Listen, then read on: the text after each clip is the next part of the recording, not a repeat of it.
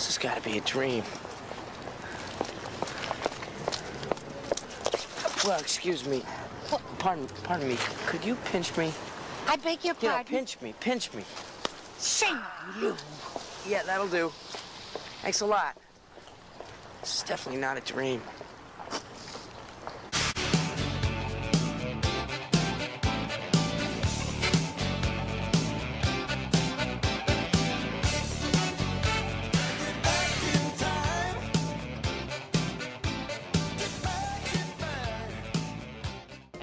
Maggie, I've got supper. Oh. Yo, Doc, you're squishing the shit out of